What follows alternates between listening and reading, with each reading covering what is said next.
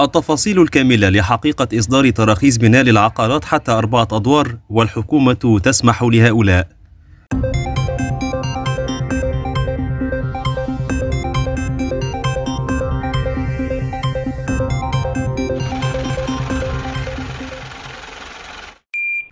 تداول رواد ومستخدمو مواقع التواصل الاجتماعي فيسبوك منشورات كثيرة حول السماح بإصدار تراخيص بناء للعقارات حتى أربعة أدوار مما جعل الحكومة تصدر بيانا تحسم خلاله ما أثير وفقا للقانون.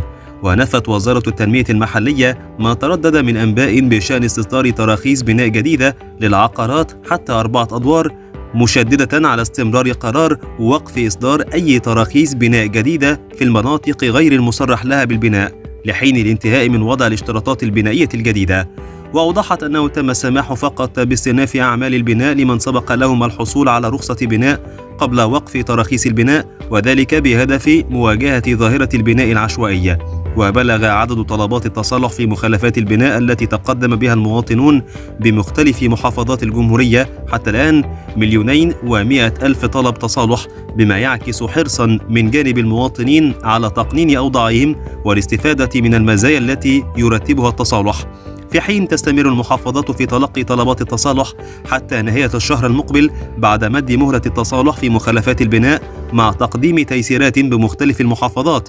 لتسهيل كل الإجراءات الخاصة بآلية إنهاء طلبات التصالح في مخالفات البناء وتقنين أوضاعها طبقا للقانون.